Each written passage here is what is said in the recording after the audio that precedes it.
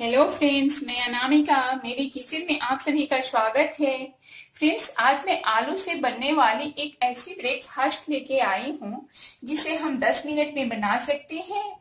और इसे बनाना जितना ही आसान है, उतना ही खाने में टेस्टी है। ये रेसिपी जो है कोरियन रेसिपी है। लेकिन हम इसे इंडियन स्टाइल में बना के दिखा रहे हैं, जिससे ये और भी टेस्टी हो जाएगा। इसे चाहे तो आप ब्रेकफास्ट में या बच्चों के टिफ़िन में या शाम के स्नैक्स में कभी भी बना सकती हैं। ये बहुत हेल्दी ब्रेकफास्ट है। तो फ्रेंड्स अगर आज की मेरी ये रेसिपी आपको अच्छी लगे तो मेरे चैनल को लाइक कीजिए सब्सक्राइब कीजिए शेयर कीजिए और कमेंट करना मत भूलिए। तो चलिए हम पोटैटो पैनकेक बनाना शुरू करते हैं।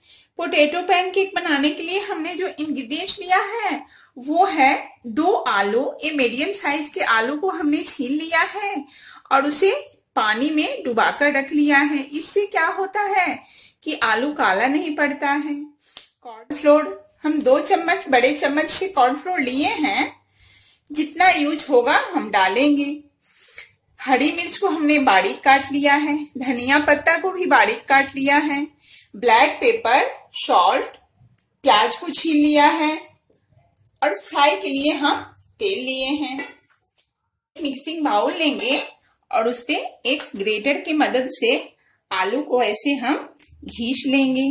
तो हम बारीक वाला ग्रेटर लेंगे, जिससे अपना आलू जो है एकदम बारीकी से घीस जाए।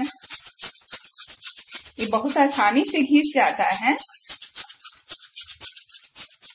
ये हमने बारीक वाले जाली से आलू को ग्रेट कर लिया है। अब हम सेम जाली से इसे भी ग्रेट करेंगे, प्याज को। तो इसे हम अच्छे से ग्रेट कर लेंगे। ग्रेट कर लिया है। अब हम इसमें डालेंगे कॉर्नफ्लोर आपके पास कॉर्नफ्लोर ना हो तो मैदा भी डाल सकते हैं, या आरा रोट का पाउडर हो तो वो भी डालेंगे। हम इतना कॉर्नफ्लोर बचा लेंगे। अगर मिक्स करने के बाद ज़रूरत पड़ी तो डालेंगे, नहीं तो उतना ही रहने देंगे। इसमें हम एक छोटा चम्मच नमक डालेंगे। आप अपने स्वाद के अनुसार डालिए। हमने एक छोटा चम्मच ब्लैक पेपर ले लिया है। एक हरी मिर्च को बारीक काट लिया है। थोड़ा सा धनिया पत्ता हमने काट लिया है। अब हम इसे अच्छे से मिक्स करेंगे। तो आलू और प्याज में पानी होता है, उसी पानी में हमें इस मिश्रण को मिक्स करना है। तो अब हम इसे हाथ से मिक्स करेंगे। तो अच्छे से हम इसे मिक्स कर लेंगे।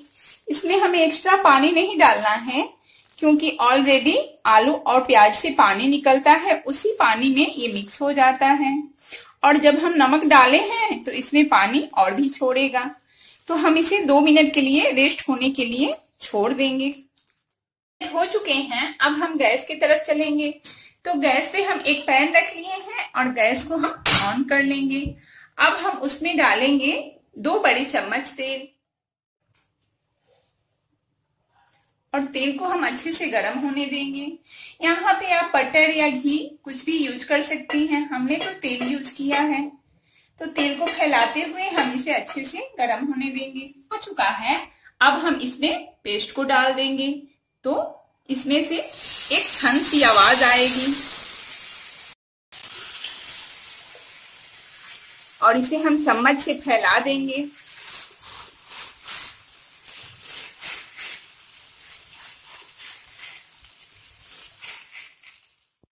इसे हमने एक बराबर शेप में चारों तरफ़ फैला लिया है।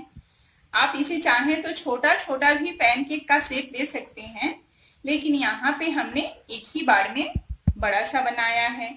बाद में हम इसे काट के पीसेस करेंगे। अब हम एक साइड से इसे दो से तीन मिनट तक पकने देंगे। गैस का फ्लेम हम मीडियम रखेंगे। अब हम इसे चेक करेंगे।